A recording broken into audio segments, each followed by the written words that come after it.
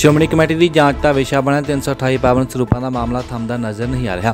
ਇਸ ਦੇ ਚੱਲਦਿਆਂ ਬੀਤੇ ਦਿਨੀ ਸਾਬਕਾ ਜਥੇਦਾਰ ਰਣਜੀਤ ਸਿੰਘ ਵੱਲੋਂ ਸ੍ਰੀ ਹਰਮੰਦਰ ਸਾਹਿਬ ਕੰਪਲੈਕਸ ਵਿਖੇ ਸ਼ਾਂਤਮਈ ਢੰਗ ਦੇ ਨਾਲ ਸਿੱਖ ਸੰਗਤਾਂ ਨਾਲ ਮਰਿਆਦਾ ਵਿੱਚ ਰਹਿੰਦਿਆਂ ਵਾਹਿਗੁਰੂ ਦਾ ਜਾਪ ਕਰਨ 4 ਘੰਟੇ ਮੋਰਚਾ ਲਗਾਇਆ ਗਿਆ। ਜਿਸ ਵਿੱਚ ਉਹਨਾਂ ਵੱਲੋਂ ਸ਼੍ਰੋਮਣੀ ਕਮੇਟੀ ਕੋਲੋਂ ਇਹ ਮੰਗ ਕੀਤੀ ਗਈ ਕਿ ਉਹ ਸੰਗਤਾਂ ਨੂੰ ਪਾਵਨ ਸਰੂਪਾਂ ਦਾ ਹਿਸਾਬ ਦੇਣ। ਇਸ ਮੌਕੇ ਉਹਨਾਂ ਵੱਲੋਂ ਸ਼੍ਰੋਮਣੀ ਕਮੇਟੀ ਤੇ ਦੋਸ਼ ਲਗਾਉਂਦੇ ਆਖਿਆ ਗਿਆ ਸੀ ਕਿ ਸ਼੍ਰੋਮਣੀ ਕਮੇਟੀ ਪਾਵਨ ਸਰੂਪਾਂ ਦੇ ਮਾਮਲੇ ਵਿੱਚ ਆਪਣਾ ਤੱਥ ਸਪਸ਼ਟ ਕਿਉਂ ਨਹੀਂ ਕਰ ਰਹੀ ਅਤੇ ਉਹਨਾਂ ਵੱਲੋਂ ਸ੍ਰੀ ਗੁਰੂ ਗ੍ਰੰਥ ਸਾਹਿਬ ਜੀ ਦੇ ਹੱਥ ਲਿਖਤ ਸਰੂਪਾਂ ਅਤੇ ਪੋਥੀਆਂ ਸੰਬੰਧੀ ਕੁਝ ਅੰਕੜੇ ਪੇਸ਼ ਕਰਦਿਆਂ ਮੰਗ ਕੀਤੀ ਸੀ ਕਿ ਸ਼੍ਰੋਮਣੀ ਕਮੇਟੀ ਇਹਨਾਂ ਦਾ ਹਿਸਾਬ ਦੇਵੇ। ਪਰ ਅੱਜ ਉਹਨਾਂ ਦੇ ਇਸ ਬਿਆਨ ਉੱਤੇ ਸ਼੍ਰੋਮਣੀ ਕਮੇਟੀ ਦੇ ਬੁਲਾਰੇ ਨੇ ਕਿਹਾ ਕਿ ਉਹਨਾਂ ਵੱਲੋਂ ਲਗਾਏ ਗਏ ਦੋਸ਼ ਅਤੇ ਦੱਸੇ ਗਏ ਅੰਕੜੇ ਸਪਸ਼ਟ ਨਹੀਂ ਹਨ। ਇਹ ਬਿਆਨ ਸੰਗਤਾਂ ਨੂੰ ਭੜਕਾਉਣ ਅਤੇ ਸ਼੍ਰੋਮਣੀ ਕਮੇਟੀ ਦੀ ਛਵੀ ਖਰਾਬ ਕਰਨ ਵਾਸਤੇ ਦਿੱਤੇ ਗਏ ਨੇ। ਵਾਹਿਗੁਰੂ ਜੀ ਕਾ ਖਾਲਸਾ, ਵਾਹਿਗੁਰੂ ਜੀ ਫਤਿਹ। ਦਾਸ ਭਾਈ ਈਸ਼ਰ ਸਿੰਘ ਹੈਦਰਾਬਾਦ ਦੱਖਣ ਤੋਂ। ਪਿਛਲੇ ਦਿਨੀ 267 ਪਾਵਨ ਸਰੂਪਾਂ ਦੇ ਘਟ ਪਾਏ ਜਾਣ ਕਾਰਨ ਸ੍ਰੀ ਅਕਾਲ ਤਖਤ ਸਾਹਿਬ ਵੱਲੋਂ ਇੱਕ ਪੜਤਾਲੀਆ ਕਮਿਸ਼ਨ ਬਣਾਇਆ ਗਿਆ ਸੀ। ਦਾਸ ਦੇ ਨਾਲ ਤਿੰਨ ਹੋਰ, ਯਾਨੀ ਦੋ ਹੋਰ ਮੈਂਬਰ ਸਨ ਟੋਟਲ ਅਸੀਂ ਤਿੰਨ ਮੈਂਬਰ ਸਾਂ ਜਿਨ੍ਹਾਂ ਨੇ ਰਿਪੋਰਟ ਤਿਆਰ ਕੀਤੀ ਪੜਤਾਲ ਕਰਨ ਉਪਰੰਤ। ਤੇ ਜਿਸ ਦੀਆਂ ਤਿੰਨ ਕਾਪੀਆਂ ਬਣਾਈਆਂ ਸਨ। ਤੇ ਐਸਾ ਕਿਤੇ ਵੀ ਨਹੀਂ ਹੈ ਕਿ ਕੋਈ ਅਸਲ ਤੇ ਨਕਲ ਕਾਪੀ ਹੈ। ਦਾਸ ਦੇ ਕੋਲ ਇੱਕ ਕਾਪੀ ਹੈ ਜਿਹਦੇ ਹਰ ਅੰਗ ਦੇ ਉੱਤੇ ਦਸਖਤ ਹਨ, ਤਿੰਨਾਂ ਮੈਂਬਰਾਂ ਦੇ। ਤੇ ਜਿਹੜੀਆਂ ਦੋ ਕਾਪੀਆਂ ਸ੍ਰੀ ਅਕਾਲ ਤਖਤ ਸਾਹਿਬ ਜੀ ਨੂੰ ਸਮਰਪਿਤ ਕੀਤੀਆਂ ਗਈਆਂ ਸਨ, ਉਹਦੇ ਕੇਵਲ ਅਖੀਰਲੇ ਅੰਗ ਤੇ ਹੀ ਤਿੰਨਾਂ ਮੈਂਬਰਾਂ ਦੇ ਦਸਖਤ ਹਨ। ਸੋ ਇਹ ਕਹਿਣਾ ਝੂਠ ਹੈ ਕਿ ਕੋਈ ਅਸਲ ਤੇ ਨਕਲ ਕਾਪੀ ਬਣਾਈ ਗਈ ਹੈ। ਦੂਜੀ ਗੱਲ, ਭਾਈ ਸਾਹਿਬ, ਭਾਈ ਰਣਜੀਤ ਸਿੰਘ ਜੀ ਨੇ ਜੋ ਕਿ ਸਾਬਕਾ ਜਥੇਦਾਰ ਰਹੇ, ਜਿਨ੍ਹਾਂ ਦੀ ਬੋਲਬਾਣੀ ਬੜੀ ਖੌਰੀ ਸੀ ਉਹਨਾਂ ਨੇ ਬਹੁਤ ਸਾਰੇ ਝੂਠ ਬੋਲੇ, ਜਿਹਦੇ ਵਿੱਚੋਂ ਪਹਿਲਾ ਝੂਠ ਇਹਨਾਂ ਨੇ ਇਹ ਗੱਲ ਕਹੀ ਕਿ 125 ਪਾਵਨ ਸਰੂਪ ਜਿਨ੍ਹਾਂ ਦੇ ਜਿਲਦ ਸਾਜੀ ਹੋ ਚੁੱਕੀ ਸੀ। ਜਦ ਕਿ ਐਸਾ ਨਹੀਂ ਸੀ, ਬਿਨਾਂ ਜਿਲਦਾਂ ਤੋਂ ਵਧੇਰੇ ਅੰਗਾਂ ਤੋਂ ਬਣਾਏ ਗਏ ਸਨ। ਫਿਰ ਦੂਜਾ ਇਹਨਾਂ ਨੇ ਝੂਠ ਬੋਲਿਆ ਕਿ ਭਾਈ ਈਸ਼ਰ ਸਿੰਘ ਸਿੰਘ ਸਾਹਿਬ ਦੇ ਕਲਾਸਮੇਟ ਹਨ। ਉਹ ਦਾਸ ਉਹਨਾਂ ਦੀ ਉਮਰ ਤੋਂ ਕਾਫੀ ਉਮਰ ਵਧੇਰੀ ਹੈ ਦਾਸ ਦੀ। ਫਿਰ ਤੀਜਾ ਝੂਠ ਇਹਨਾਂ ਨੇ ਇਹ ਗੱਲ ਕਹੀ ਕਿ ਬਾਦਲਾਂ ਦਾ ਜ਼ਿਕਰ ਉਹਨਾਂ ਦੇ ਰਿਪੋਰਟ ਦੇ ਵਿੱਚ ਲਿਖਿਆ ਹੋਇਆ ਕਿ ਉਹ ਦੋਸ਼ੀ ਹਨ। ਜਦ ਕਿ ਬੇਰਕਾ ਜੀ ਜੋ ਸਰਬਜੀਤ ਸਿੰਘ ਜੀ ਸਨ, ਉਹਨਾਂ ਨੂੰ ਪੁੱਛਿਆ ਗਿਆ। ਦਾਸ ਨੇ ਕਮਿਸ਼ਨ ਨੇ, ਪੜਤਾਲ ਕਮਿਸ਼ਨ ਨੇ ਪੁੱਛਿਆ ਕਿ ਜੇ ਤੁਹਾਡੇ ਕੋਲ ਕੋਈ ਸਬੂਤ ਹੈ ਤਾਂ ਜ਼ਰੂਰ ਦਿਓ ਤੇ ਅਸੀਂ ਉਹਨਾਂ ਦਾ ਜ਼ਿਕਰ ਕਰਾਂਗੇ। ਇਹਨਾਂ ਦੇ ਸੀਨੀਅਰ ਕੋਲ ਜੋ ਆਰਐਸ ਬੈਂਸ ਹਨ, ਅਜੀਤ ਸਿੰਘ ਬੈਂਸ ਦੇ ਸੁਪੁੱਤਰ, ਚੰਡੀਗੜ੍ਹ ਸਾਹਿਬ, ਚੰਡੀਗੜ੍ਹ ਵਿਖੇ ਦਾਸ ਉਹਨਾਂ ਕੋਲ ਪਹੁੰਚਿਆ। ਉਹਨਾਂ ਨੂੰ ਬੇਨਤੀ ਕੀਤੀ ਕਿ ਜੀ ਤੁਹਾਡੇ ਕੋਲ ਕੋਈ ਸਬੂਤ ਹੈ ਤਾਂ ਦਿਓ, ਬਿਨਾਂ ਸਬੂਤ ਤੋਂ ਕੀ ਦਾਸ ਇਸ ਕਮਿਸ਼ਨ ਦੀ ਰਿਪੋਰਟ 'ਚ ਲਿਖ ਸਕਦਾ ਹੈ? ਤੇ ਉਹਨਾਂ ਨੇ ਸਾਫ਼-ਸਾਫ਼ ਕਿਹਾ ਸੀ, ਨਹੀਂ ਲਿਖ ਸਕ, ਲਿਖਿਆ ਜਾ ਸਕਦਾ ਸੋ ਐਸੀ ਕੋਈ ਗੱਲ ਨਹੀਂ ਹੈ, ਜੋ ਸਿੰਘ ਸਾਹਿਬ, ਭਾਈ ਰਣਜੀਤ ਸਿੰਘ ਜੀ ਸਾਬਕਾ ਜਥੇਦਾਰ ਬਿਆਨ ਕਰ ਰਹੇ ਨੇ, ਇਹਨਾਂ ਤੋਂ ਸੁਚੇਤ ਰਹੋ ਕਿ ਝੂਠ ਬੋਲ ਰਹੇ ਨੇ। ਗੁਰੂ ਮਹਾਰਾਜ ਦੇ ਰਾਮਦਾਸ ਜੀ ਦੇ ਦਰਬਾਰ ਦੇ ਅੱਗੇ ਖੜ ਕੇ ਝੂਠ ਬੋਲੇ ਨੇ। ਸੋ ਜੋ ਕਿ ਇਹਨਾਂ ਨੂੰ ਨਹੀਂ ਸ਼ੋਭਦਾ, ਸੋ ਦਾਸ ਸਾਰੀ ਸੰਗਤ ਨੂੰ ਬੇਨਤੀ ਕਰਦਾ ਹੈ ਕਿ ਇਹਨਾਂ ਤੋਂ ਸੁਚੇਤ ਰਹਿਣਾ, ਐਸੇ ਬਿਆਨਾਂ ਤੋਂ ਸੁਚੇਤ ਰਹਿਣਾ ਇਸ ਰਿਪੋਰਟ ਨੂੰ ਆਪ ਜੀ ਚੰਗੀ ਤਰ੍ਹਾਂ ਪੜਿਓ ਜਿਹਦੇ ਵਿੱਚ ਬਹੁਤ ਹੀ ਘੋਖ ਕੇ ਜੋ ਸਾਡੇ ਮੂਰੇ ਯਾਨੀ ਲੈਜਰਸ ਆਏ ਉਸ ਨੂੰ ਘੋਖ ਕੇ ਅਸੀਂ ਰਿਪੋਰਟ ਬਣਾਈ ਹੈ। ਮਹਾਰਾਜ ਨੂੰ ਹਾਜ਼ਰ ਨਾਜ਼ਰ ਜਾਣ ਕੇ, ਸੋ ਆਪ ਕਿਰਪਾ ਕਰਕੇ ਇਹਨਾਂ ਗਲਤ ਬਿਆਨੀਆਂ ਤੋਂ ਬਚੋ ਜੀ। ਵਾਹਿਗੁਰੂ ਜੀ ਕਾ ਖਾਲਸਾ, ਵਾਹਿਗੁਰੂ ਜੀ ਕੀ ਫਤਿਹ। ਜਿਸ ਸੰਬੰਧੀ ਅੱਜ ਸਾਬਕਾ ਜਥੇਦਾਰ ਰਣਜੀਤ ਸਿੰਘ ਨੇ ਇੱਕ ਪ੍ਰੈਸ ਕਾਨਫਰੰਸ ਦੇ ਦੌਰਾਨ ਦੱਸਿਆ ਕਿ ਸ਼੍ਰੋਮਣੀ ਕਮੇਟੀ ਵੱਲੋਂ 328 ਪਾਵਨ ਸਰੂਪਾਂ ਦੇ ਮਾਮਲੇ ਵਿੱਚ ਹਰ ਪੱਖ ਉੱਪਰ ਸੰਗਤਾਂ ਨੂੰ ਗੁੰਮਰਾਹ ਕਰਨ ਦਾ ਕੰਮ ਕੀਤਾ ਗਿਆ ਹੈ। ਜਿਸ ਦੇ ਚੱਲਦਿਆਂ ਜਥੇਦਾਰ ਗਿਆਨੀ ਹਰਪ੍ਰੀਤ ਸਿੰਘ ਵੱਲੋਂ ਆਪਣੇ ਹੀ ਖਾਸ ਦੋਸਤ ਐਡਵੋਕੇਟ ਈਸ਼ਰ ਸਿੰਘ ਪਾਸੋਂ 267 ਸਰੂਪਾਂ ਦੀ ਜਾਂਚ ਦਾ ਪ੍ਰੋਗਰਾਮ ਪੇਸ਼ ਕੀਤਾ ਉਸ ਵਿੱਚ 267 ਸਰੂਪਾਂ ਦੀ ਜਗ੍ਹਾ 328 ਸਰੂਪਾਂ ਦੀ ਰਿਪੋਰਟ ਪੇਸ਼ ਕਰਕੇ ਗੁੰਮਰਾਹ ਕੀਤਾ ਜਾ ਰਿਹਾ ਹੈ। ਜੇਕਰ ਰਿਪੋਰਟ ਵਿੱਚ 328 ਸਰੂਪ ਲਾਪਤਾ ਹਨ, ਤੇ ਫਿਰ ਉਹ ਕਿੱਥੇ ਹਨ, ਇਸ ਦਾ ਕੋਈ ਜਵਾਬ ਨਹੀਂ। ਅਤੇ ਅਸਲ ਰਿਪੋਰਟ ਜਨਤਕ ਕੀਤੀ ਨਹੀਂ ਜਾ ਰਹੀ। ਦੇਖੋ ਹਾਈ ਕੋਰਟ ਦਾ ਜੱਜ ਹੁੰਦਾ ਜਾਂ ਕੋਈ ਗਸਟਡ ਅਫਸਰ ਹੁੰਦਾ ਜਿਨੇ ਕਦੇ ਜਾਂਚ ਕੀਤੀ ਹੋਵੇ ਕੋਈ ਪੁਲਿਸ ਨਾਲ ਸੰਬੰਧਿਤ ਹੁੰਦਾ ਫੌਜ ਨਾਲ ਸੰਬੰਧਿਤ ਹੁੰਦਾ ਤਾਂ ਉਥੋਂ ਕੋਈ ਆਸ ਰੱਖੀ ਜਾ ਸਕਦੀ। ਤੁਸੀਂ ਤੁਸੀਂ ਦੇਖੋ ਨਾ ਦੇਖੋ ਜੀ ਜਾਂਚ ਤੇ ਮੈਂ ਤੇ ਅਸੀਂ ਤੇ ਅਸੀਂ ਤੇ ਸਾਡਾ ਸਾਡਾ ਸਵਾਲ ਹੀ ਇਹ ਆ ਕਿ ਜੇ ਇਹ ਸਾਨੂੰ 200 ਸਰੂਪ ਤੇ 28 ਹੁਕਮਨਾਮੇ ਮਿਲਨੇ ਆ ਤੇ ਇਹ ਮਿਲਨੇ ਆ ਜਦੋਂ ਇਨਵੈਸਟੀਗੇਸ਼ਨ ਹੋਈ। ਇਨਵੈਸਟੀਗੇਸ਼ਨ ਕਰ ਸਕਦੀ ਪੁਲਿਸ ਜਾਂ ਕੋਈ ਏਜੰਸੀ ਉਹਦੇ ਲਈ ਦਰਖਾਸਤ ਦਿਓ। ਜੇ ਤੁਸੀਂ ਗੁਰੂ ਗ੍ਰੰਥ ਸਾਹਿਬ ਦੀ ਬੇਦਬੀ ਹੁੰਦੀ ਆ ਆਪਣਾ ਸਰਹੰਦ ਜਾਂ ਉਹਦੇ ਲਾਗੇ ਪਿੰਡ 'ਚ ਤੁਸੀਂ ਉੱਥੇ ਜਾ ਕੇ ਤੇ ਪੁਲਿਸ ਇਨਵੈਸਟੀਗੇਸ਼ਨ ਕਰੇ ਪੁਲਿਸ ਸਾਨੂੰ ਦੋਸ਼ੀ ਫੜ ਕੇ ਦੇਵੇ। ਤੇ ਇੱਥੇ ਕਿਉਂ ਨਹੀਂ? ਇੱਥੇ ਕੀ ਹੈ ਇੱਥੇ ਕਹਿ ਕੇ ਮੁਕਰ ਪਿਛਾ ਆਂਦੇ ਆ। ਇੱਥੇ ਕਹਿ ਕੇ ਇਹਨੇ। ਫਿਰ ਇਹ ਇਹ ਜਿਹੜੇ ਈਸ਼ਰ ਸਿੰਘ ਜੀ ਨੇ, ਇਹਨਾਂ ਨੇ ਕੀਤੇ ਕਿਰਾਏ ਤੇ ਸਾਈਨ ਜ਼ਿਆਦਾ ਕੀਤੇ ਨੇ। ਇੱਕ ਪਹਿਲੀ ਗੱਲ ਤੇ ਤੁਹਾਨੂੰ ਲਿਆਂਦਾ ਗਿਆ ਕਿ 2015 ਤੋਂ ਲੈ ਕੇ 20 ਤੱਕ ਦੀ ਇਨਵੈਸਟੀਗੇਸ਼ਨ ਕਰੋ ਤੁਸੀਂ 12 ਤੋਂ ਲੈ ਕੇ ਤੇ 15 ਤੱਕ ਬਣੀ ਰਿਪੋਰਟ ਤੇ ਸਾਈਨ ਕਰਕੇ ਅੱਗੇ ਕਰਤੀ ਜਿਹਦੇ ਵਿੱਚ 5-6 ਅਫਸਰ ਦੋਸ਼ੀ ਨੇ ਤੇ ਰਿਪੋਰਟ ਦੇ ਵਿੱਚ ਕਲੀਅਰ ਲਿਖਿਆ ਹੈ ਤੇ 2020 ਦੇ ਵਿੱਚ ਸੈਕਟਰੀ, ਚੀਫ ਸੈਕਟਰੀ ਰੂਪ ਸਿੰਘ ਲਿਖ ਰਿਹਾ ਕਿ ਤੋਂ ਪੈਸੇ ਵਸੂਲਣੇ ਬਣਦੇ ਇਹਨਾਂ ਦੇ ਵਿਰੁੱਧ ਕਾਰਵਾਈ ਹੋਣੀ ਬਣਦੀ ਆ। ਪਰ ਕੁਝ ਦਿਨ ਪਹਿਲੇ ਉਹਨਾਂ ਨੂੰ ਸਰੋਪਾ ਦੇ ਕੇ ਸਨਮਾਨ ਨਾਲ ਰਿਟਾਇਰਮੈਂਟ ਤੋਂ ਬਾਅਦ ਘਰ ਭੇਜਿਆ ਗਿਆ। ਕਾਰਵਾਈ ਹੋਈ ਕਿੱਥੇ ਆ? ਤੋ ਅਸੀਂ ਤੇ ਇਹ ਇਹ ਮੁਲਾਜ਼ਮਾਂ ਦੇ ਖਿਲਾਫ ਤੁਸੀਂ ਸਾਨੂੰ ਗੁੱਸਾ ਕੱਢ ਕੇ ਕਹੋ ਵੀ ਅਸੀਂ ਸੁਰਖਰੂ ਹੋ ਗਏ ਇਹ ਗੱਲ ਗਲਤ ਆ। ਜਿਹੜਾ ਚੋਰ ਫੜਿਆ ਜਾਂਦਾ, ਉਹਨੂੰ ਸਜ਼ਾ ਮਿਲਣੀ ਚਾਹੀਦੀ ਆ। ਦੂਸਰਾ ਇਹ ਆ ਕਿ ਤੁਸੀਂ ਉਹ ਆਰਡਰ ਬੁੱਕ ਕਿਉਂ ਨਹੀਂ ਲਈ? ਜਿਹੜੀ ਆਰਡਰ ਬੁੱਕ ਤੇ ਆਰਡਰ ਲਿਖ ਕੇ, ਸਰੂਪ ਲਿਖ ਕੇ ਐਡਰੈਸ ਲਿਖ ਕੇ ਤੁਸੀਂ ਸਰੂਪ ਭੇਜੇ। ਤੇ ਜਿਹੜੇ ਭੇਜੇ, ਜਿਹੜੀ ਥਾਂ ਤੇ ਸਾਨੂੰ ਆਪਣੇ ਤਸੱਲੀ ਹੋ ਜੂਗੀ, ਇਹ ਠੀਕ ਥਾਂ ਤੇ ਗਏ ਨੇ। ਵੀ ਜਿਹੜੇ ਸਰੂਪ ਆਰਡਰ ਨਾਲ ਗਏ ਨੇ, ਉਹ ਆਰਡਰ ਬੁੱਕ ਕਿੱਥੇ ਆ? ਉਹ ਤੁਹਾਡੀ ਇਨਵੈਸਟੀਗੇਸ਼ਨ ਦਾ ਹਿੱਸਾ ਕਿਉਂ ਨਹੀਂ ਬਣੀ? ਜਿਹੜੀਆਂ ਸਲਿੱਪਾਂ ਆਈਆਂ 328 ਸਰੂਪ ਦੇਣ ਲਈ ਉਹ ਸਲਿੱਪਾਂ ਤੁਹਾਨੂੰ ਕਮਲਜੀਤ ਸਿੰਘ ਨੇ ਦਿੱਤੀਆਂ ਤੇ ਅੱਜ ਦੇ ਅੱਜ ਦੇ ਪ੍ਰਧਾਨ ਦੇ ਪੀਏ ਨੇ ਖੋਲੀਆਂ ਉਹਦੇ ਕੋਲੋਂ ਤੇ ਜੇਬ 'ਚ ਪਾ ਲੀਆਂ ਉਹ ਤੁਹਾਨੂੰ ਕਿਉਂ ਨਹੀਂ ਦਿਸਦੀਆਂ? ਉਹ ਤੁਹਾਡੀ ਇਨਵੈਸਟੀਗੇਸ਼ਨ ਦਾ ਹਿੱਸਾ ਕਿਉਂ ਨਹੀਂ ਬਣੀਆਂ? ਤੇ ਬਹੁਤ ਕੁਝ ਆ ਅਸੀਂ ਹੋਰ ਦੱਸਾਂਗੇ। ਪਰ ਤੁਸੀਂ ਇਹ ਜਿਹੜੀਆਂ ਵਿੱਚ ਗੜਚੀਆਂ ਕਰ ਰਹੇ ਹੋ ਨਾ ਝੂਠ ਬੋਲ ਰਹੇ ਆ ਰਣਜੀਤ ਸਿੰਘ ਜੀ ਗੁਰੂ ਘਰ ਆ ਕੇ ਮੈਂ ਗੁਰੂ ਘਰ ਆ ਕੇ ਨਾ ਝੂਠ ਬੋਲਿਆ ਤੇ ਨਾ ਮੈਨੂੰ ਕੋਈ ਲੋੜ ਆ ਕਿਉਂਕਿ ਮੈਂ ਪਾਪ ਨਹੀਂ ਕੀਤਾ। ਪਾਪ ਤੁਸੀਂ ਕੀਤੇ ਹੋ ਤੁਸੀਂ ਲੁਕਦੇ ਹੋ ਤੇ ਲੁਕ ਆਪਣਾ ਟਾਈਮ ਪਾਸ ਕਰਦੇ ਹੋ ਆਪਣੀਆਂ ਸ਼ਕਲਾਂ ਦਿਖਾਓ ਪ੍ਰੈਸ ਦੇ ਸਾਹਮਣੇ ਕੈਮਰੇ ਦੇ ਸਾਹਮਣੇ ਲੋਕਾਂ ਦੇ ਸਾਹਮਣੇ ਪੰਥਕ ਪਲੇਟਫਾਰਮ ਤੇ। ਤਾਂ ਅਸੀਂ ਜਾਣਾਂਗੇ ਤੁਸੀਂ ਠੀਕ ਹੋ। ਸਿੰਘ ਸਾਹਿਬ ਈਸ਼ਰ ਸਿੰਘ ਜੀ ਕਹਿੰਦੇ ਨੇ ਕਿ ਆਪਣੀ ਵੀਡੀਓ ਵਿੱਚ ਕਿ ਭਾਈ ਰਣਜੀਤ ਸਿੰਘ ਨੇ ਝੂਠ ਬੋਲਿਆ ਕਿ 125 ਪਾਵਨ ਸਰੂਪ ਦੀ ਜਿਲਦ ਅਸਾਨੀ ਹੋ ਚੁੱਕੀ ਹੈ ਕਿ ਉਹਨਾਂ ਵੱਲੋਂ ਆਪਣੀ ਰਿਪੋਰਟ ਦੇ ਪੰਨਾ ਸਫਾ ਨੰਬਰ 159 ਤੇ ਲਿਖ ਕੇ ਮੰਨਿਆ ਗਿਆ ਆਪ। ਤੇ ਇਹ ਈਸ਼ਰ ਸਿੰਘ ਜੀ ਕਹਿ ਰਹੇ ਨੇ ਕਿ ਇਹ ਝੂਠ ਬੋਲਿਆ ਉਹਨਾਂ ਨੇ। ਮੈਂ ਹੁਣ ਇਹਨਾਂ ਨੂੰ ਇਹਨਾਂ ਦੀ ਜਿਹੜੀ ਇਹਨਾਂ ਨੇ ਰਿਪੋਰਟ ਅਸਲੀ ਆ ਕਿ ਨਕਲੀ ਇਹਨਾਂ ਨੂੰ ਪਤਾ ਹੋ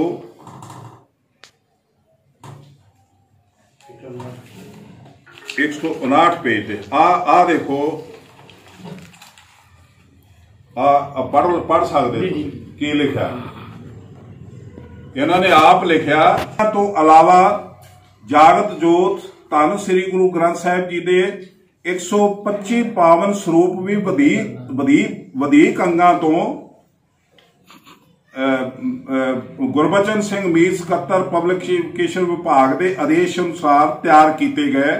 ਪਰ ਇਹ ਜਿਹੜਾ ਗੁਰਬਚਨ ਸਿੰਘ ਦਾ ਆਪਣਾ ਬਿਆਨ ਹੈ ਇਸ ਰਿਪੋਰਟ 'ਚ, ਉਹਦੇ ਵਿੱਚ ਵੀ ਤੇ ਅੱਗੇ ਜਾ ਕੇ ਸਪੋਰਟ 'ਚ ਵਿੱਚ ਇਸੇ ਈਸ਼ਰ ਸਿੰਘ ਨੇ ਲਿਖਿਆ ਕਿ ਬਿਨਾਂ ਇਜਾਜ਼ਤ ਦੇ ਅਨਧਿਕਾਰਤ ਛਾਪੇ ਗਏ। ਅਸੀਂ ਕਿੱਥੇ ਝੂਠ ਬੋਲਿਆ? ਅਸੀਂ ਇਹ ਕਿਹਾ ਸੀਗਾ ਕਿ 125 ਸਰੂਪ ਜਿਹੜੇ ਨੇ 125 ਨਹੀਂ, ਅਸੀਂ ਕਿਹਾ ਸੀ ਕਿ ਇਹ ਜਿਹੜੇ 267 ਸਰੂਪ ਜਿਹੜੇ ਨੇ ਪੂਰੇ ਕਰਨ ਲਈ ਜਿਲਦ ਸਾਜਾ ਕੋਲ ਸਮਾਨ ਜਾ ਚੁੱਕਾ, ਸਮਗਰੀ ਜਾ ਚੁੱਕੀ ਆ ਤੇ ਉਹ ਛਾਪ ਕੇ ਉੱਥੇ ਰੱਖ ਦੇਣਗੇ ਤੇ ਕਹਿਣਗੇ ਇਹ ਸਮਾਨ ਪੂਰਾ ਹੋ ਗਿਆ। ਇਹ 125 ਦਾ ਅੰਕੜਾ ਈਸ਼ਰ ਸਿੰਘ ਨੇ ਦਿੱਤਾ, ਆਪਣੀ ਸਟੇਟਮੈਂਟ ਦੇ ਵਿੱਚ ਦਿੱਤਾ।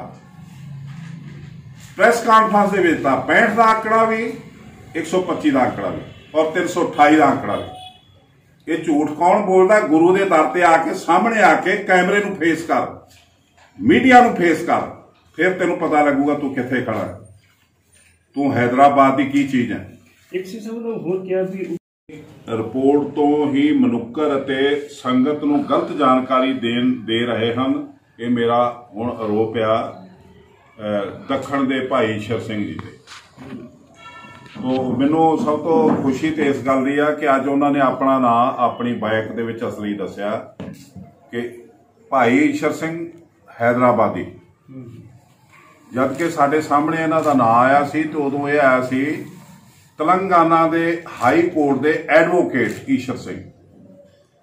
ਤੋਂ ਮੈਂ ਸਾਰੀ ਰਾਤ ਲੱਗਾ ਰਿਹਾ ਗੂਗਲ ਤੇ ਕਿ ਇਹ ਜਿਹੜਾ ਤੇਲੰਗਾਨਾ ਹਾਈ ਕੋਰਟ ਦੇ ਰਜਿਸਟ੍ਰੇਸ਼ਨ ਜਿਹੜੀ ਆ ਈਸ਼ਰ ਸਿੰਘ ਦੇ ਨਾਂ ਦੀ ਲੱਭਣ ਲਈ ਕਿ ਉਹਨਾਂ ਨੂੰ ਕਿਉਂਕਿ ਮੈਂ ਜਾਣਨਾ ਚਾਹੁੰਦਾ ਸੀ ਵੀ ਕਿੰਨੇ ਕੁ ਕਾਬਲ ਸਿੱਖ ਨੂੰ ਐਡੀ ਦੂਰੋਂ ਜਾ ਕੇ ਲੱਭਾ।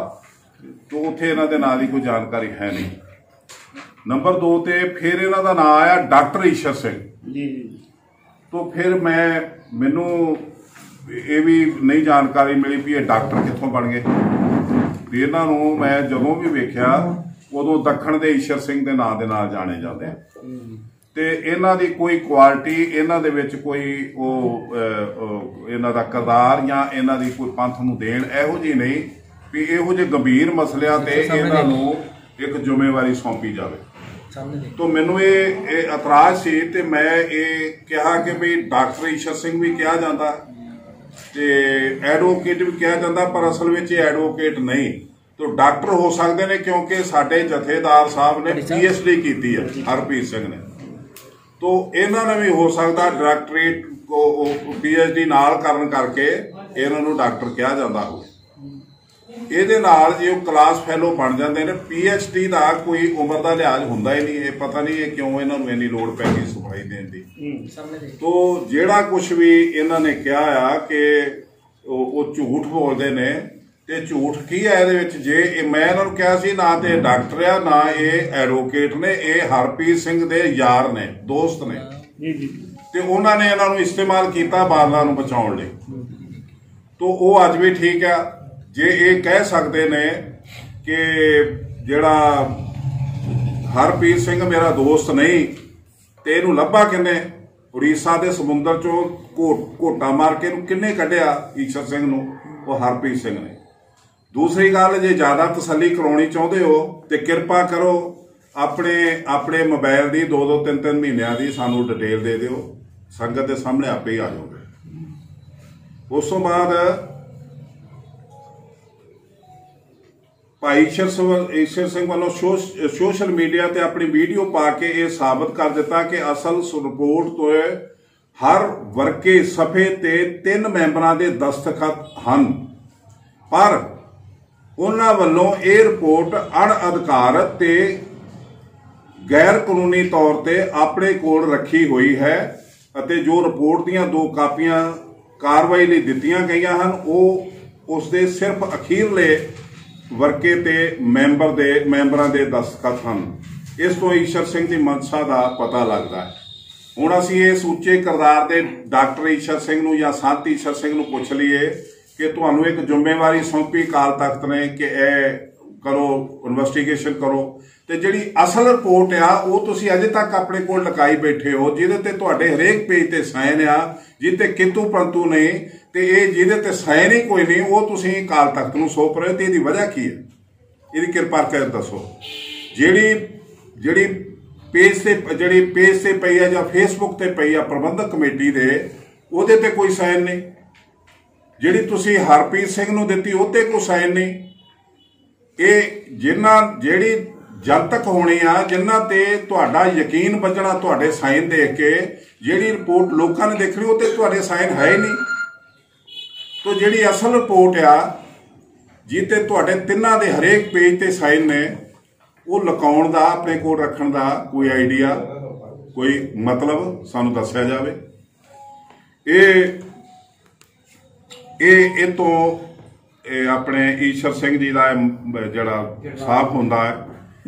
ਮੈਂ ਮੈਂ ਹਾਂਜੀ। ਇਹਨੂੰ ਕੀ ਇਹ ਰਿਪੋਰਟ ਜਿਹੜੀ ਆ ਈਸ਼ਰ ਸਿੰਘ ਜੀ ਆਪੇ ਦੱਸ ਚੁੱਕੇ ਨੇ ਕਿ ਇੱਕ ਰਿਪੋਰਟ ਆ ਜਿਹਦੇ ਤੇ ਅਸੀਂ ਤਿੰਨਾਂ ਜਾਣਿਆਂ ਨੇ ਹਰੇਕ ਪੇਜ ਤੇ ਸਾਈਨ ਕੀਤੇ। ਦੋ ਬੀਬੀਆਂ, ਇੱਕ ਈਸ਼ਰ ਸਿੰਘ ਜੀ। ਤੇ ਦੋ ਕਾਪੀਆਂ ਮੈਂ ਸੌਂਪੀਆਂ ਕਾਲ ਤੱਕ ਤੇ ਉਹਨਾਂ ਤੇ ਸਿਰਫ ਮੈਂ ਅਖੀਰ ਤੇ ਸਾਈਨ ਕੀਤੇ ਨੇ। ਨਾਲ ਬੀਬੀਆਂ ਦੇ ਵੀ ਹੋ ਸਕਦੇ ਨੇ। ਤੇ ਉਹ ਜਿਹੜੀਆਂ ਦੋ ਕਾਪੀਆਂ ਨੇ, ਇੱਕ ਤੇ ਹੋ ਗਈ ਕਾਲ ਤਖਤ ਸਾਹਿਬ ਦੇ ਕੋਲ, ਉਹ ਕਾਪੀਆਂ ਨੇ। ਜੇ ਉਹ ਕਾਪੀਆਂ ਨੇ ਤੇ ਉਹਨਾਂ ਤੇ ਸਾਈਨ ਕਾਪੀ ਕਰਾਉਂਦਿਆਂ ਹੋਣੇ ਚਾਹੀਦੇ ਸੀ ਇਹਨਾਂ ਦੀ। ਵੀ ਇਹ ਇਹ ਝੂਠ ਬੋਲ ਰਹੇ ਨੇ, ਅਸਲ 'ਚ ਉਹ ਦੁਬਾਰਾ ਬਣਾਈਆਂ ਗਈਆਂ। ਇਹ ਜਿਹੜੀ ਅਸੀਂ ਕਾਪੀ ਲਈ ਆ ਅਸੀਂ ਕਿਤੇ ਬਣਾਈ ਨਹੀਂ ਇਹਨਾਂ ਦੀ ਫੇਸਬੁੱਕ ਤੋਂ ਲਈ ਹੈ। ਜਿਹੜੀ ਇਹਨਾਂ ਨੇ ਲੋਕਾਂ ਨੂੰ ਬੇਵਕੂਫ ਬਣਾਉਣ ਲਈ ਫੇਸਬੁੱਕ ਤੇ ਪਾਈ ਹੈ ਲੋਕਾਂ ਦੀ ਜਾਣਕਾਰੀ ਲਈ। ਪ੍ਰਬੰਧਕ ਕਮੇਟੀ ਦੀ ਫੇਸਬੁੱਕ ਤੇ ਪਾਈ ਹੈ। ਤੇ ਫਿਰ ਇਹ ਝੂਠ ਕਿਉਂ ਬੋਲ ਰਹੇ ਫੇਸਬੁੱਕ ਤੇ ਆਪਣਾ ਬਿਆਨ ਦੇ ਇਹ ਝੂਠ ਕੁਝ ਹਜਮ ਕਰਨਾ ਚਾਹੁੰਦੇ ਨੇ। ਫੇਸ ਨਹੀਂ ਕਰ ਪਾ ਰਹੇ ਲੋਕਾਂ ਨੂੰ। ਇੱਕ ਕਾਰਜ ਬਹੁਤ ਜਿਹੜਾ ਗੰਭੀਰ ਤੇ ਇਹ ਸਾਡੀ ਕੌਮ ਦੇ ਹਿਰਦੇ ਨਾਲ ਜੁੜਿਆ ਹੋਇਆ। ਉਸ ਕਾਰਜ ਲਈ ਇੰਨੀ ਲੁੱਕਾ ਛਿਪੀ ਕਿਉਂ? ਇੱਕ ਪਹਿਲੀ ਗੱਲ ਤੇ ਇਹ ਹੈ ਕਿ ਇਹ, ਇਹ- ਡਾਕਟਰ ਈਸ਼ਰ ਸਿੰਘ ਜਾਂ ਐਡਵੋਕੇਟ ਈਸ਼ਰ ਸਿੰਘ ਜਾਂ ਹੈਦਰਾਬਾਦੀ ਈਸ਼ਰ ਸਿੰਘ ਜੀ, ਇਹਨੇ ਸਮਰੱਥ ਨਹੀਂ ਗਏ, ਜਿੰਨਾ ਵੱਡਾ ਉਹਨਾਂ ਨੂੰ ਕਾਰਜ ਦੇ ਦਿੱਤਾ। ਦੂਸਰਾ, ਉਹਨਾਂ ਨੇ ਕਿਤੇ ਵੀ ਇਮਾਨਦਾਰੀ ਨਹੀਂ ਦਿਖਾਈ। ਪਹਿਲੀ ਗੱਲ ਤੇ ਇਹ ਆ ਕਿ ਜਿਹੜੇ 328 ਸਰੂਪ ਗਏ ਨੇ, ਉਹਨਾਂ ਦੀ ਦੱਸਣੇ ਐਸ ਐਸ ਫਾਈਲ ਦੇ ਵਿੱਚ, ਆਪਣੀ ਰਿਪੋਰਟ ਦੇ ਵਿੱਚ ਕਿੱਥੇ ਜਾਣਕਾਰੀ ਦਿੱਤੀ ਹੈ? ਤੇ ਕੀ ਇਨਵੈਸਟੀਗੇਸ਼ਨ ਕੀਤੀ ਹੈ?